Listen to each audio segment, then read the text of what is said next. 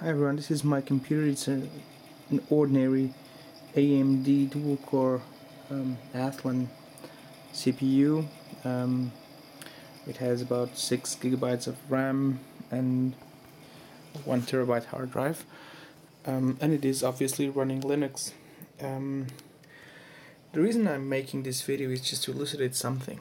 This, this computer has two uh, displays, it's running two different desktops under under GNOME and my Linux machine has the two cores topping everything there is to top. I mean CPU 1 just hit 100% and CPU 2 is just doing the same um, alternatively. Why is this happening? Uh, the memory load is actually around 3 gigs out of 5.8 available as I told you 6 gigabytes and the network is just jumping around uh, along uh, normally I have a 1 um, gigabit link. Why is this happening? Well this is happening because my Linux machine um, which has again um, a dual core Athlon uh, 5000 plus and a 1 terabyte hard drive which is almost empty um, is actually doing a hell of a lot of stuff.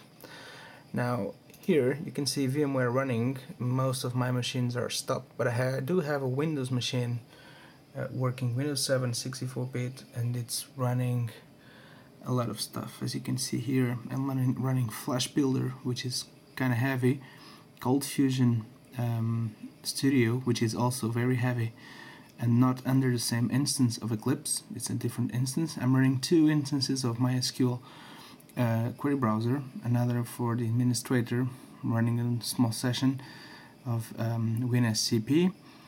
I am running TeamViewer so I can log in remotely and I'm also using Chrome which is uh, kind of light but not that light. Um, the thing is that my software is also running on the Linux side. Um, it's also running Mozilla with a lot of uh, tabs here as you can see. And it is also um, doing something oh this is just a folder I'm opening on a network uh, and system monitor which does take up space. On the other workspace here as you can see I am running several instances almost 20 instances of DVD created and they are all running okay? So my machine is processing like 20 DVDs it's encrypting and decrypting video. Um, it's not blazing fast, but it, none of them has stopped, and you can see that just I can still use the machine and work with it. Okay, it's not blazing fast, but it's it is workable. Okay, the thing is that my other workspace is also with a lot of stuff. So I do have, I still have OpenShot um, uh, working here it, it stopped already it already stopped processing video but it is open with the video project. I'm not closing it. Uh, yeah I'm saving the project. Um, I also have my network open. Um, it just stopped baking a, a DVD which I was cooking. And GNOME Baker um, ended doing what it, it was doing. I don't want to save changes.